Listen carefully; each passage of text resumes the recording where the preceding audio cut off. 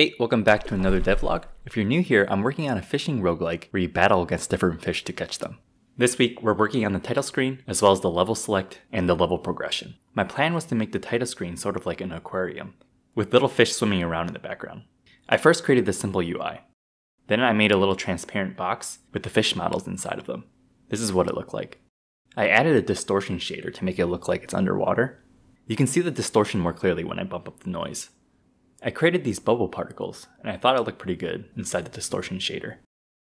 I added a blue background and started spawning in the fish randomly.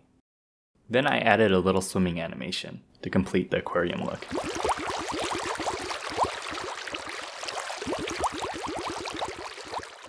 Next thing I wanted to work on was the level select. Basically, when you catch enough fish, you move on to the next level, so I needed a way to show those.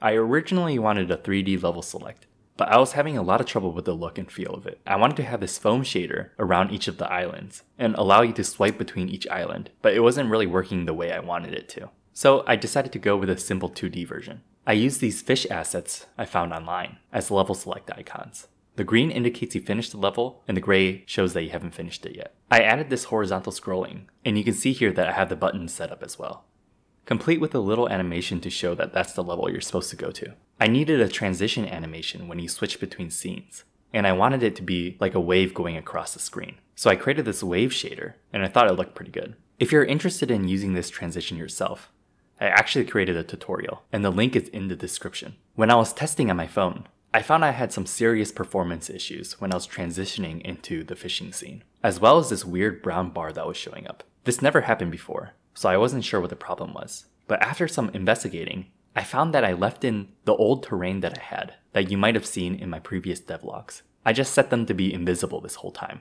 After I deleted them, the performance issues were resolved. Next, I wanted to work on the level progression. I wanted a way to define what type of fish gets spawned in each level, as well as the probability of catching each fish. I also needed a way to define how many points you needed to finish a level. So I created this level resource. Now I can create a level and define all those parameters really easily.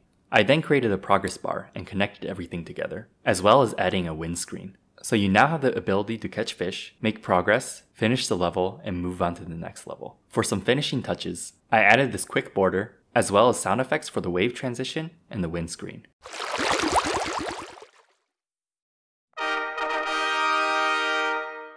Next week, I'm going to work on giving the fish various abilities. If the next devlog is out, it'll be on the right, and if you want to watch my previous devlogs, you can click on the playlist on the left. If you want to be notified when the next devlog comes out, please consider subscribing. See you next time!